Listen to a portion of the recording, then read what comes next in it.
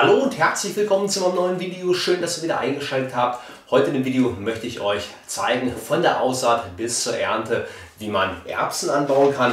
In meinem Fall haben wir hier Schalenerbsen. Ja, und ich mache es ähm, etwas anders als viele andere vielleicht. Ich ziehe meine Erbsen nämlich einmal hier vor unter Glas sozusagen, also bei mir auf dem Fensterbrett. Warum mache ich das Ganze? Ähm, ganz einfach, wir haben draußen noch gefrorenen Boden oder wenn auch zum Beispiel eine Schneedecke auf dem Boden liegt, dann kann es Sinn machen, die Erbsen nicht direkt auszusehen, sondern das einfach dann schon mal ja, gute zwei bis knapp drei Wochen vorher zu machen, bevor man die Erbsen dann ähm, schlussendlich dann auch im Garten Beet irgendwo auspflanzt. Ja, so ist es in meinem Fall. Das macht man dann in der Regel Ende Februar, Anfang März, wo man das vorzieht. Und das werde ich euch jetzt einmal zeigen. Das ist quasi der Anfang im Video. Und zum Schluss, wenn alles gut geht, könnt ihr sehen, wie ich die Erbsen dann auch hier in dem Video ernte. Zwischendurch gebe ich euch immer mal wieder ein Update, wie sich die Pflanze entwickelt hat. Ihr bekommt ähm, wichtige Pflegehinweise, wie man Erbsen dann auch richtig anbaut. Wenn euch das gefällt, könnt ihr an der Stelle gerne einen Daumen nach oben da lassen und vergesst auch nicht, meinen YouTube-Kanal zu abonnieren, wenn ihr weitere solche Videos sehen wollt. Und das Ganze ist für euch auch kostenlos und ihr unterstützt mich damit auch wahnsinnig, um auch weiterhin diese Videos hier für, ähm, auf YouTube für euch machen zu können. Ja, hier könnt ihr die Erbsen sehen, die ich jetzt einpflanze. Das ist sozusagen dann der Samen. Und hier habe ich meine Anzuchtschale. Da ist selbstgemachte Anzuchterde drin. Wenn ihr sehen oder wissen wollt, wie das geht, man muss da nicht unbedingt eine kaufen. Da kann man ein bisschen Geld sparen und gleichzeitig auch die Umwelt entlasten. Dann schaut euch das Video mal an hier oben. Da zeige ich euch, wie man Anzuchterde ganz einfach aus dem Garten selber machen kann. Ja, was ist jetzt wichtig zu wissen? Also ungefähr ja, zwei bis drei Wochen dauert es, bis die gekeimt haben.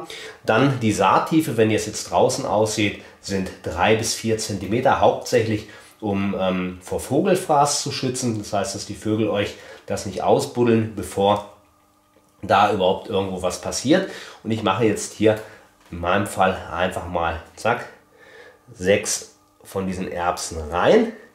Die Anzuchterde habe ich vorher angefeuchtet und wir brauchen jetzt keine warmen Temperaturen, so ja, 6 bis 8 Grad, 10 Grad um den Dreh rum reichen aus. Und dann dauert es, wie gesagt, zwei bis knapp drei Wochen, bis unsere Erbsen hier angefangen haben zu keimen. Länger sollte das nicht dauern. Und dann behalten wir die auch gar nicht so lange drin. Dann hat sich wahrscheinlich das Wetter draußen auch gebessert, dass wir die dann auch relativ zügig raus in den Garten pflanzen können.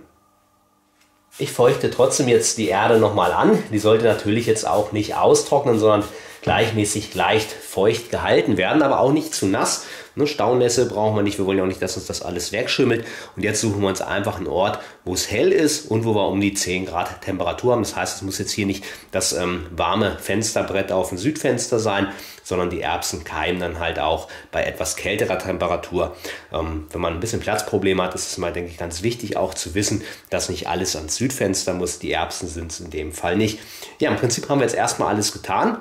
Wir können nur abwarten und wenn die Erbsen gekeimt haben, seht ihr das hier gleich im Video und dann sage ich euch auch, wie lange das bei mir in meinem Fall gedauert hat. Es hat jetzt zweieinhalb Wochen gedauert und hier könnt ihr sehen, die Erbsen haben gekeimt. Drei sind schon eindeutig zu erkennen. Ich hoffe und ich denke, es kommen noch ein paar dazu. Aber zweieinhalb Wochen hat es gedauert. Ich habe die Erde, wie man sehen kann, gleichmäßig leicht feucht gehalten. Natürlich nicht zu nass, so dass es auch nicht schimmelt. Und jetzt warten wir mal ab.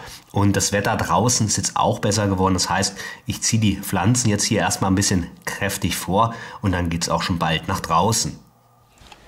Ja, ich pflanze jetzt die Erbsen ein. Wir haben Anfang April. Jetzt haben wir hier keine Schneedecke mehr. Der Boden ist auch nicht gefroren.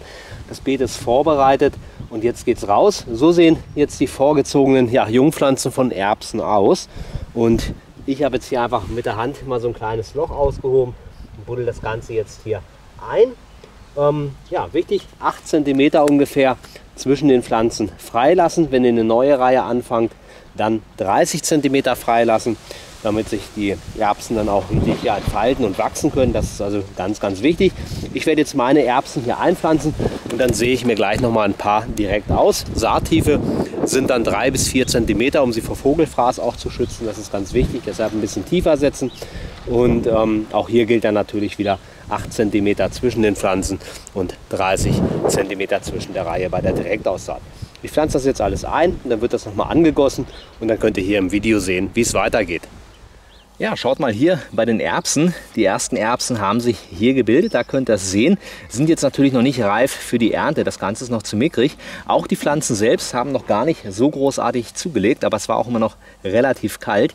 Jetzt haben wir so die ersten schönen sonnigen Tage gehabt. Auch viel Niederschlag, also ideale Bedingungen erstmal. Aber aktuell kann man sehen, es geht voran. Die ersten Erbsen, auch bei den anderen ähm, Pflanzen, haben sich bereits entwickelt. Ja, wir kommen zum nächsten Update, beziehungsweise wir können ernten. Schaut mal hier, da haben sich jetzt schon schöne Schoten gebildet, die wir tatsächlich ernten können mit Erbsen. Ja, sobald die sich gebildet haben und je eher man sie erntet, desto besser schmecken sie auch. Deshalb wartet nicht zu lange. Ich habe es hier in einem Teil gemacht, das kann ich euch gerne mal zeigen. Da nipse ich die einfach mal ein bisschen ab. Ähm, da wird das Ganze schon ich weiß nicht, ob man es über die Kamera sehen kann, leicht gelblich. Das ist dann ein bisschen zu lange. Erntet sie einfach, ja, wenn sie da sind, wenn sie ungefähr auch so diese Größe erreicht haben. Und dann können die Erbsen geerntet werden. Bei mir ist es jetzt soweit. In der Regel ist das drei Monate nach der Aussaat. Wir sind jetzt hier im Juni und von daher sind wir da auch genau richtig in der Zeit. Ja, schauen wir uns einfach mal an. Ich mache mal so eine Schote hier auf und dann können wir uns die einzelnen Erbsen mal anschauen. Ich habe jetzt tatsächlich die genommen, die eigentlich schon ein bisschen drüber waren. Aber wenn wir das Ganze mal aufmachen, sieht es auch wirklich sehr, sehr schön und gut aus. Also kann man gar nicht meckern. Auch die kann man natürlich noch essen. Sie schmecken halt einfach ja, viel besser, wenn man es früher erntet, wenn man nicht zu lange wartet. Aber das bedeutet natürlich nicht, dass sie ungenießbar sind, wenn man ein oder zwei Tage zu lange wartet. Ja, was habe ich jetzt bei der Pflege hier gemacht? Ähm, gedüngt habe ich das Ganze mit Kompostwasser alle zwei bis drei Wochen, gar nicht so häufig, muss ich sagen. Ähm, wenn es trocken war, längere Zeit, habe ich alle zwei, drei Tage mal gegossen. Ansonsten hat das oft aber auch der Niederschlag geregelt, vor allem in den ähm, ja, Mai-Monat zum Beispiel. Da hat es dann doch noch ähm, etwas mehr geregnet. Jetzt im Juni musste ich schon mal häufiger zur Gießkanne greifen, weil es sehr heiß und trocken auch war über eine längere Zeit. Und dann habe ich natürlich auch gegossen. Ansonsten habe ich die Pflanzen großteils sich selbst überlassen. Ich habe da nichts geschnitten, nichts rausgezogen. Ich habe jetzt einfach nur gewartet, bis sich hier diese Schoten mit den Erbsen bilden. Und ja, habe die jetzt geerntet. Und damit sind wir dann auch zum Ende des Videos. Von der Aussaat bis zur Ernte habt ihr alles gesehen. Die Ernte war erfolgreich. Ich werde auch nach und nach noch ernten können. Es bilden sich ja auch noch kleinere Schoten, die jetzt erstmal ein bisschen größer werden. Und so kann ich dann auch noch in einem etwas längeren Zeitraum an meinen Pflanzen hier ernten. Ja, ich hoffe, das Video hat euch gefallen, vor allem auch weitergeholfen. Wenn ja, lasst gerne einen Daumen nach oben da, abonniert gerne hier meinen YouTube-Kanal und dann sehen wir uns auch im nächsten Video wieder. Macht's gut, bis dann. Ciao, ciao.